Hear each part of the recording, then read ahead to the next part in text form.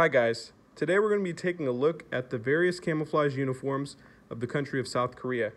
Now this is an approximate evolution of the camouflage uniforms they used from the year 1948 to the present day. Now we're going to be starting with this uniform here in the middle, which is actually not camouflage, but it's one of the first uniforms that they adopted all the way back in 1948. Now, as you can see, it's just a simple olive drab uniform, nothing special here. The material is HBT, herringbone twill, and this was used from approximately 1948 to uh, 1990 when everyone was issued Tonghab, which is basically the uh, South Korean take on US woodland uh, camouflage. However, some special units were issued what is basically a version of the US duck hunter camouflage. And the picture is not really showing it well, but this is kind of has a green uh, hue to it. That's because this is not one of the original uh, duck hunter uniforms, which would have been used by the Marine Corps and the Special Forces during the Vietnam War.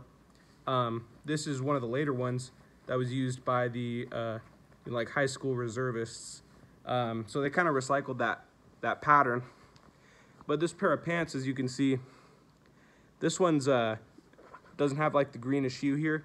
Has more of like a just kind of brownish hue, and this is a HBT fabric. This one looks more like what a, uh, an original one would have looked like in the Vietnam War. So now we've established the uh, ROK Marine Corps. They have, you know, camouflage uniforms way before the regular armed forces. Now taking a look at this pattern on the right, this is called the um, leopard or jigsaw or puzzle camouflage. Kind of looks a little bit like US ERDL, but it's definitely very unique in the fact that it's a completely unique pattern. And this was only used for a few years in the, the 70s, I believe, from uh, either the mid 70s to 1977, um, from what I've read on Camopedia.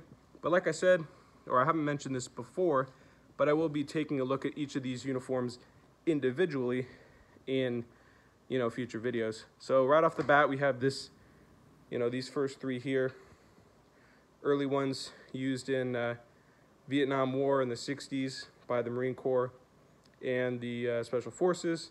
This was just worn by regular units. It's just a regular olive drab uniform. And this was used by the Marine Corps from like the mid 70s to 1977. And now we're gonna see what they were using after that. So this is commonly referred to as turtle shell. And you can see it's kind of like a more geometric based pattern. You know, we have a lot more lines, less swirls, uh, bigger swaths of color. This particular piece right here is a commercial M65 jacket, so this would not have been issued. This is a private purchase. Um, yeah. But these pants down below are actual genuine issued pants. And there's a few different variations in this pattern. Mainly the only difference being that some patterns have this like little line in between the colors, but some of them don't. And they just have the colors, you know, meshing against each other. But yeah, we'll be taking a look at uh, that piece. So this was issued uh, all the way from like 1978 to the year 2010 when I mentioned previously, everyone switched to this uniform right here. So this was used in the 80s and mainly like the 80s, late 70s, 80s, and then 1990 hit, everyone switched to this. In the middle here, what we're gonna find is a unique uh, desert version. So this was used, you know, when Korea deployed troops overseas to Iraq and I believe Afghanistan as well. So basically what this is, it's just the Tonghab uniform recolored into desert colors. And before this, they actually used, I'm just taking a piece here, US chocolate chip camo, but obviously that would have been locally produced. Um, it was identical, although you would have seen this Korea patch on it. I've seen a few pieces like that. I don't currently own one myself. So this was used for about, um, you know, 2004, introduced to like 2008. So it's another cool piece of uh, history we got here. And uh, after this, like I mentioned this, so this was introduced in 1990. Everyone switched to that. But before this, um, some of the armed forces, not the Marine Corps, wore a different version of Woodland, except it had, you know, varying colors. Um, it was pretty interesting. I don't have a piece like that, but if you want to see one, you can look it up on Camopedia. And after, you know, throughout the 90s, um, in 2010, everything changed. And um, the regular armed forces got a new pattern called Granite B, which is this. So it's a digital pattern. So this is the first digital pattern introduced in 2010. And this is just a lightweight field shirt that they have. Um, the pattern itself is pretty pretty cool. You got like this, you know, like almost pinkish color. You've got this, you know, green, black, dark brown. There's a lot of different cool colors on here, and I'll definitely make a video showing off a few of these uniforms because it's just a really great digital camouflage pattern, and the uniforms themselves are constructed very nicely, very great features, and very well made. Now, when the regular armed forces were getting issued this uniform, the Marine Corps was getting their own digital camouflage uniform, but instead they were getting a version called WavePat. So with WavePat, you have more of a horizontal camouflage pattern, you know, left to right, as you can see. Um, not as many colors, and the pixels are just slightly bigger, but not by much. And this is a WavePat rain jacket. And uh, this particular version not sure exactly when it was issued, but I'll make a video on this as well. And then the newest piece that I have is this uh, ROK, Marine, uh, not Marines, uh, Navy. And this was introduced, this camouflage pattern was introduced in the year 2021. So this is a very new uh, uniform. And on the tags here, you can actually see it was made in 2021.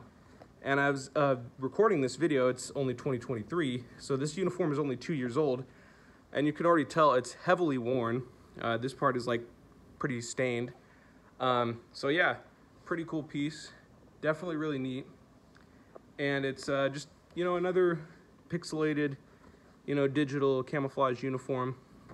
Primarily blue colors with, uh, you know, the insignia every once in a while throughout. And then there's two other patterns I wanted to talk about that are non-military issue.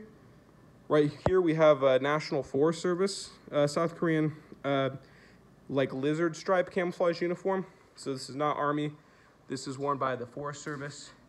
And this is a really cool piece. And you'll see, you know, this patch here. And this will definitely make a good video because it almost looks like it has little bits of like DPM added in. And then this one, another one of my favorites. This is what they issue uh, or I don't know if they still have this program, but they had a military education program for high schoolers. And this is like a zebra pattern that was pretty popularly issued. And this comes in many different variations, but this is a pretty common version you'll see, you know, white and black with these, you know, um, kind of like noodly little uh, patterns. And uh, yeah, so just going back again, olive drab, duck hunter, reintroduced in like reservist and high school training. Got this noodle pattern briefly worn in the 70s. Then we switched to turtle shell. Watch out for fakes. There's a lot of commercial variants. This is a very uh, popular uh, fashion camo. So there's a lot of commercial versions of this uniform. Then we have this specially made desert uniform worn from like 2004 to 2008, replaced with a newer uh, digital um, a desert uniform. Then we have Tonghab. This one is a later one, produced in 2010, so like the last year that they made this. It is in the ripstop pattern, but before it was, you know, different fabric material. This only came later. Then we got our Granite B, our Wave Pat, and our Navy Pat. That's just what I'm going to call it. And then we got our other two uniforms. So thanks for watching, guys. I am going to make I'm, I am eventually going to get around to making a video on each of these different uh, camouflage uniforms. I just wanted to drop this video so you guys would be aware.